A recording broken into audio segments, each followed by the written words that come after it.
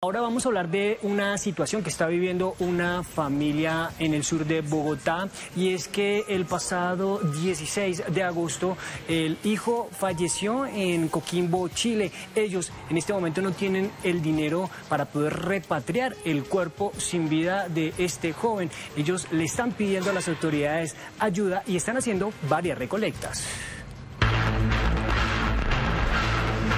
Una familia vive una tragedia luego de que Brian Esteban Correa, de 27 años de edad, perdiera la vida el pasado miércoles 16 de agosto en extrañas circunstancias en la ciudad de Coquimbo, en Chile. El joven que salió de Colombia hace dos años tenía la ilusión de darle una mejor vida a su familia. Él salió de Colombia hace dos años aproximadamente cuando hubo el estallido social y muchos muchachos tuvieron que emigrar de Colombia para buscar unas mejores posibilidades de vida en otro país. Lejano de esto no me imaginé que el día miércoles me llamaran y en extrañas circunstancias mi hijo Todavía no tengo un reporte preliminar conciso para poder decirte qué es yo. La señora Judy está pidiendo ayuda a las autoridades para repatriar el cuerpo de su hijo lo más pronto posible y darle cristiana sepultura puesto que esta familia no cuenta con los recursos suficientes para poder traer el cuerpo a Colombia, puesto que la suma es bastante elevada.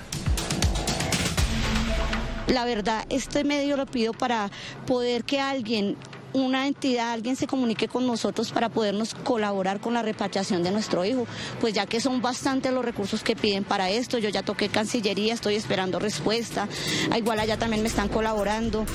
Le pido la colaboración a la gente de todo corazón para poder que mi hijo medio sente los gobiernos, lo que pueda, para poder traer nuevamente a mi hijo a darle su sagrada sepultura. Para su mamá fue un golpe muy duro, pues cuenta que siempre estaba en contacto con él. Él era ornamentador. Él perteneció cuando joven a las barras de Santa Fe.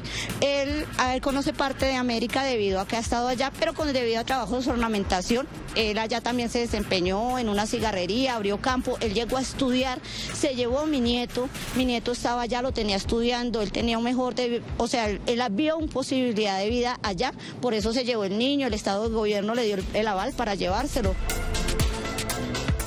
Esta familia está realizando un recaudo a través de varias cuentas bancarias, pues aún les falta mucho dinero para lograr el objetivo. El 311-239-4842, NECI, David Plata, a nivel nacional, a nivel internacional, cualquier ayuda que ustedes nos puedan dar de verdad en este momento es inmensa. Por ahora esperan que las autoridades colombianas les puedan dar una mano a esta familia que perdió a un ser querido intentando buscar un mejor futuro en otro país. En las próximas horas los hinchas de Santa Fe, equipo que alentaba, se reunirán al lado del Estadio El Campín para realizar una colecta.